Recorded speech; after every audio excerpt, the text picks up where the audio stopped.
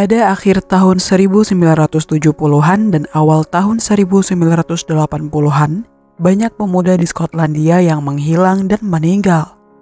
Dennis Nielsen atau The Scottish Murderer disebut-sebut sebagai pelakunya. Bagaimana semua ini bisa terjadi?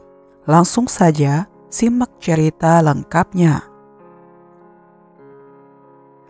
Bagian 1.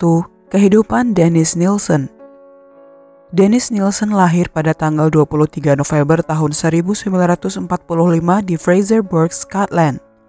Pernikahan orang tuanya tidak bahagia dan itu membuat Dennis, ibu, dan saudara-saudaranya tinggal bersama kakek dari pihak ibu yang sangat dihormati olehnya. Ketika Dennis berusia enam tahun, ia harus kehilangan kakek yang sangat dicintainya dan membuatnya trauma ketika melihat jenazah yang sedang dikuburkan. Hal itu ternyata menjadikan Dennis memiliki perilaku psikopatologi di kemudian hari.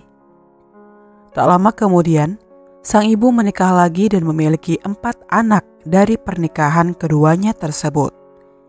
Kebahagiaan yang dirasakan ibu bersama keluarga barunya ternyata membuat Dennis menjadi anak yang pendiam dan kesepian. Dia juga mulai sadar akan ketertarikan homoseksualnya tetapi dia mengabaikan hasrat itu dan tidak pernah melakukan hubungan seksual saat remaja. Lalu memutuskan untuk mendaftar sebagai tentara pada usia 16 tahun. Selama di sana, Dennis menjadi juru masak, bertugas sebagai tukang daging di Korps Catering Angkatan Darat, dan mempelajari keterampilan dengan sangat baik selama lima tahun masa tugasnya. Setelah keluar dari militer pada tahun 1972, Dennis mengikuti pelatihan polisi dan menemukan ketertarikannya ketika kunjungan ke kamar mayat dan mengotopsi mayat. Meskipun pekerjaan polisi memberikan keuntungan yang jelas untuk mengembangkan hasrat membunuhnya, tetapi ia memutuskan untuk mengundurkan diri dan menjadi pewawancara rekrutmen.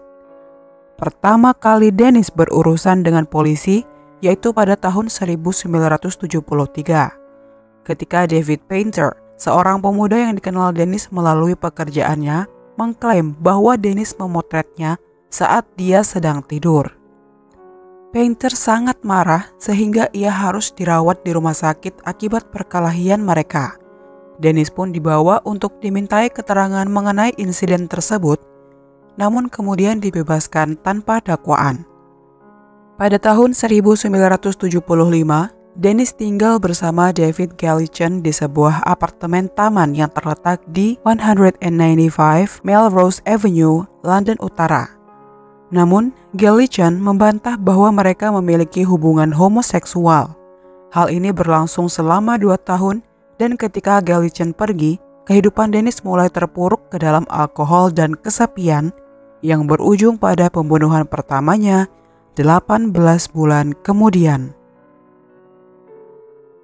Bagian 2. Kejahatan Dennis Dennis Nielsen menjadi semakin terganggu oleh hubungan seksualnya yang tampaknya hanya menjadikannya kesepian ketika hubungan itu berakhir. Dia bertemu dengan korban pertamanya yang masih muda di sebuah pub pada tanggal 29 Desember tahun 1978 dan mengajaknya pulang seperti yang dia lakukan pada kesempatan sebelumnya. Keesokan paginya, pikiran Dennis sangat kacau seperti diliputi oleh trauma kehilangan. Jadi dia tidak bisa mengendalikan keinginannya untuk mencegah pemuda itu pergi. Kemudian, dia memutuskan untuk melilitkan dasi pada leher pemuda itu dengan sangat ketat sebelum menenggelamkannya ke dalam ember berisi air. Lalu Dennis membawa pemuda tersebut ke kamar mandi untuk dimandikan dan meletakkannya kembali ke tempat tidurnya. Ia merasa mayat tersebut sangatlah cantik. Kemudian dia mencoba melakukan tindak senonoh namun tidak berhasil sehingga dia hanya menghabiskan malam dengan tidur di samping mayat tersebut.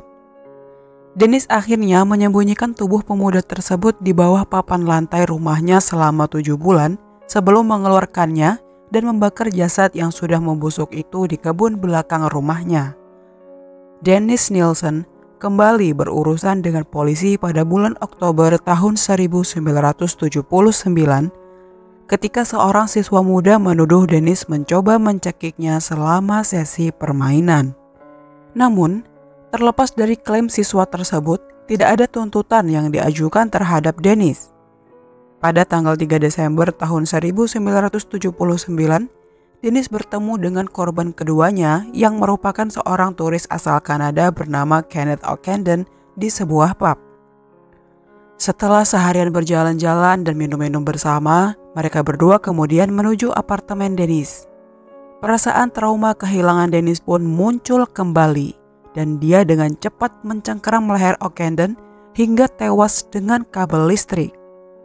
Dia membersihkan mayat tersebut seperti yang dia lakukan sebelumnya dan berbagi tempat tidur dengannya semalaman. Dia mengambil foto melakukan tindak senonoh dan akhirnya menyimpan mayat tersebut di bawah papan lantai. Dennis sering mengeluarkannya dan mengajaknya berbicara seolah-olah O'Candon masih hidup. Sekitar lima bulan kemudian, Marion Duffy menjadi korban ketiga Dennis. Duffy adalah seorang tunawisma berusia 16 tahun yang dia undang untuk bermalam pada tanggal 13 Mei tahun 1980. Seperti korban pertamanya, Dennis mencekik dan menenggelamkannya sebelum membawanya kembali ke tempat tidur dan memuaskan dirinya sendiri di atas mayat remaja tersebut. Davi disekap di dalam lemari pakaian selama dua minggu sebelum dijadikan satu dengan O'Candon di bawah lantai. Korban berikutnya adalah seorang penghibur, yaitu Billy Sutherland, yang berusia 27 tahun yang mengalami nasib sial karena mengikuti Dennis pulang ke rumahnya pada suatu malam. Dia juga dicekik. Salah satu korban lainnya adalah Malcolm Barlow yang berusia 24 tahun. Dia adalah seorang yatim piatu yang memiliki ketidakmampuan belajar. Hidup Barlow juga berakhir dengan cara dicekik. Pada tahun 1981, Dennis Nielsen telah membunuh total 12 orang di apartemen tersebut dan hanya empat orang yang dapat diidentifikasi. Mengingat kegemarannya memangsa para tunawisma dan pengangguran di kota besar, hal ini mungkin tidak terlalu mengejutkan dibandingkan dengan masyarakat yang lebih kecil. Dennis mengklaim bahwa ia mengalami kesurupan dan pada tujuh kesempatan ia benar-benar membebaskan orang-orang itu daripada melanjutkan aksinya karena ia tersadar oleh perbuatannya. Namun, itu hanya terjadi beberapa kali. Jadi, tidak semua korban beruntung saat itu. Pada saat Barlow terbunuh, Dennis terpaksa memasukkannya ke dalam bak cuci piring karena ia kehabisan tempat penyimpanan dengan setengah lusin mayat yang disembunyikan di sekitar apartemen dia terpaksa menyemprot kamarnya dua kali sehari untuk membasmi lalat yang menetas dari mayat-mayat yang membusuk tersebut. Suatu ketika, para tetangga mengeluh tentang adanya bau busuk dari apartemennya, tetapi dia berhasil meyakinkan mereka bahwa bau itu berasal dari masalah struktural pada bangunan tersebut. Untuk menyingkirkan mayat-mayat tersebut, ia akan melepaskan pakaiannya dan memotong-motongnya di lantai dapur yang terbuat dari batu dengan pisau dapur besar. Terkadang juga merebus serta memasukkan bagian-bagian lain di plastik untuk dibuang. Dia mengubur beberapa di kebun dan di gudang dan memasukkannya ke dalam koper sambil dia bakar sedikit demi sedikit di api unggun yang terletak di ujung kebunnya. Kadang-kadang dia akan membakar api sepanjang hari tanpa menimbulkan kecurigaan dari para tetangga. Pada tahun 1982, dalam upaya putus asa untuk meredam hasrat melencengnya, Dennis Nielsen pindah ke sebuah apartemen di lantai atas di 23 Cronley Gardens, Muswell Hill, juga di London Utara yang tidak memiliki taman dan lantai yang nyaman. Namun, ia masih tidak mampu meredam dorongan hasrat tersebut dan menyebabkan adanya tiga korban berikutnya yang dihabisi di apartemen ini sejak kedatangannya sampai bulan Februari tahun 1983. Para korban ini diidentifikasi sebagai John Howlett, Archibald Graham Allen, dan Stephen Sinclair. Sebenarnya, ini memberi Dennis tantangan yang jauh lebih besar karena apartemen ini tidak memiliki akses langsung ke ruang terbuka. Dia mengatasi kendala ini dengan memisahkan tubuh menjadi beberapa bagian dan membuangnya di toilet serta ke dalam kantong plastik. Ada lima penyewa lain di Cranley Gardens, tetapi mereka tidak ada yang mengenal Dennis dengan baik. Kemudian, pada awal bulan Februari tahun 1983, salah satu dari mereka memanggil spesialis saluran pembuangan Diner Road untuk menyelidiki penyumbatan saluran pembuangan. Di hadapan para penghuni, termasuk Dennis, teknisi tersebut menemukan sisa-sisa tubuh manusia yang membusuk saat turun melalui lubang pembuangan di luar ruangan dan diputuskan bahwa pemeriksaan penuh akan dilakukan keesokan harinya. Setelah itu, polisi akan dipanggil untuk melakukan penyelidikan. Dennis Nielsen, yang semakin sadar akan kemungkinan tertangkap, mencoba menutupi jejaknya dengan membuang jaringan manusia dari saluran air malam itu, tetapi ketahuan oleh penghuni di lantai bawah yang menjadi curiga dengan tindakannya.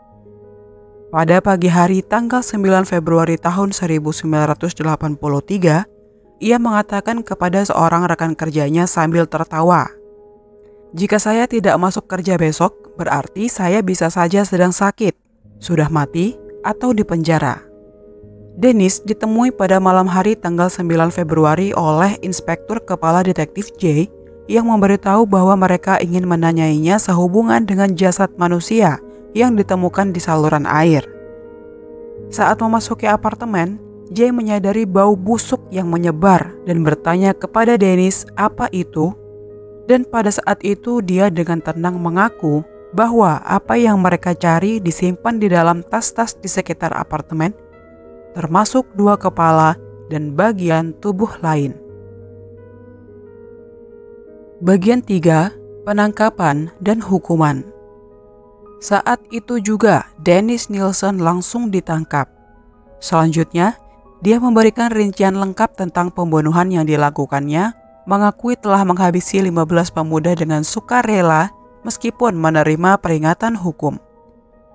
Dennis juga mengakui percobaan pembunuhan terhadap tujuh orang lainnya meskipun dia hanya dapat menyebutkan empat di antaranya.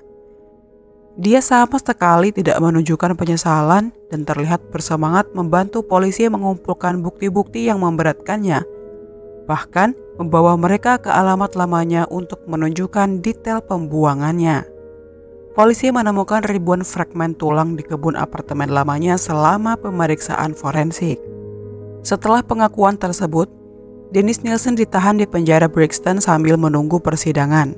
Selama di sana, ia menulis lebih dari 50 buku catatan tentang kenangannya untuk membantu pihak penuntut dan juga menggambar sesuatu yang disebutnya sebagai sketsa sedih yang merinci perlakuannya terhadap beberapa korbannya. Dennis Nielsen dikenal sebagai The Scottish Murderer karena korbannya adalah para pemuda Skotlandia. Dennis sering merasakan perasaan yang berubah-ubah tentang nasibnya, terkadang tanpa penyesalan dan kemudian menunjukkan keprihatinan tentang sikap publik terhadapnya. Dia memecat dewan hukumnya, kemudian mempekerjakannya kembali dan memecatnya sekali lagi tak lama sebelum dia diadili. Persidangannya dimulai pada tanggal 24 Oktober tahun 1983. Dennis Nielsen didakwa dengan enam tuduhan pembunuhan dan dua tuduhan percobaan pembunuhan.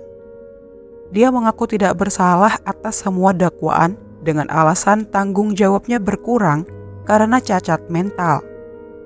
Jaksa penuntut terutama mengandalkan catatan wawancara ekstensif yang dihasilkan dari penangkapannya yang memakan waktu lebih dari empat jam untuk dibacakan kata demi kata di hadapan juri, serta kesaksian dari tiga korban, Paul Knobs, Douglas Stewart, dan Carl Storer, yang berhasil melarikan diri dan yang semuanya berusaha dicekik oleh Dennis.